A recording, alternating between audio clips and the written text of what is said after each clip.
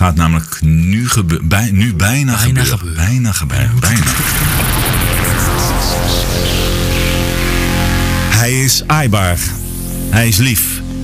Hij is slank en goddelijk. En spreekt altijd de waarheid. Onze Louis. En hij is hier in huis. Want hij weet wat Nederland gaat doen met het WK voetbal dit jaar in Brazilië. Loïtje is er klaar voor. Loïtje heeft een eerste keuze gemaakt in het filmpje wat je op internet kan vinden. En dat gaat over het oorspronkelijke idee om een cavia een wedstrijd te laten voorspellen. Daar houden we nu over op, want het gaat nu om het feit, wat gaat hij voorspellen? Gaat Nederland winnen? Gaat Nederland verliezen? Of gaat Nederland gelijk spelen? De Nederlandse vlag, de Spaanse vlag of het gelijkspel?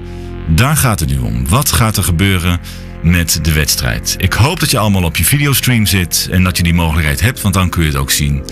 En wij gaan nu eens even kijken wat Louietje gaat doen. Ik zeg, zet hem maar neer.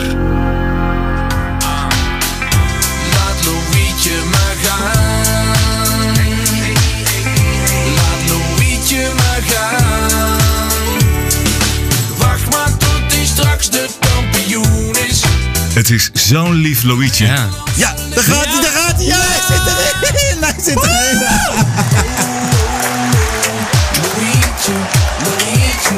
Hij was aan het twijfelen. Hij twijfelde. Hij wist het echt niet. Hij deed het wel.